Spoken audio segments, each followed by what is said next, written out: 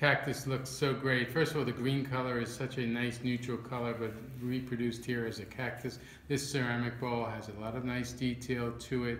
The bottoms are very simple, and then they each come with a spoon, and we've accented it with a uh, al silver alloy uh, uh, cactus icon. So we have a beautiful acacia wood spoon as a gift set.